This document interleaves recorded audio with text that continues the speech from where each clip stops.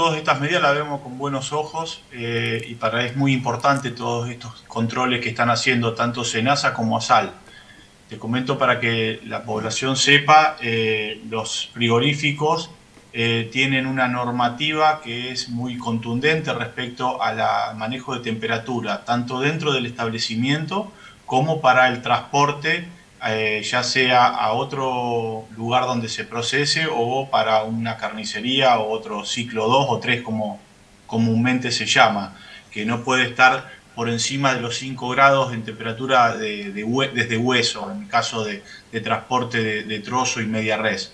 Eh, nosotros esto incluso eh, lo venimos denunciando en reiteradas oportunidades cuando detectamos alguna irregularidad de este tipo eh, ya sea en la deficiente manipulación como también en casos que ha habido semanas anteriores de, alertas de, triquinosis y de salmonelosis.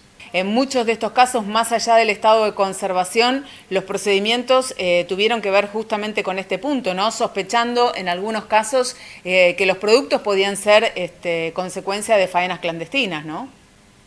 Sí, de faenas clandestinas o a lo mejor algún empleado infiel, tal fue el caso de la semana, eh, semana pasada, comienzo de semana pasada, en donde se detectó un camión de, que venía de productos faenados del norte provincial hacia provincia de Buenos Aires, en donde eh, se estaban haciendo un transbordo de la mercadería, ¿no es cierto? Eh, la verdad que eso es muy importante y también pedimos a la, población cuando detecte alguna irregularidad de este tipo, nos dé aviso a nosotros o a las autoridades sanitarias fundamentalmente para, para no, no, no estar bajo esta, esta situación que la verdad que puede desde, desde enfermedades hasta puede ocasionar la muerte, ¿no es cierto? Como hemos visto en provincia de Buenos Aires. ¿Se puede hablar de un mercado paralelo, un mercado negro, digamos, en la comercialización de carnes en Santa Fe? ¿Y cuál es la magnitud que ustedes le dan a este problema?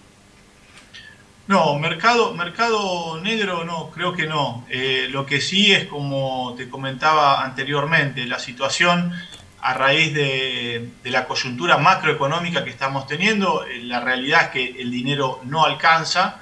Eh, nosotros tenemos que el, consumo, la ingesta de proteína animal por habitante ha, mermado y ha caído en los últimos años y estamos viendo un incremento considerable, eso sí, de faena, de faena clandestina en lugares donde no está habilitado o no están dadas las condiciones sanitarias y esto se comercializa eh, al público en general. Eso es lo grave que hay que tener mucho, mucho cuidado y responsabilidad por eso.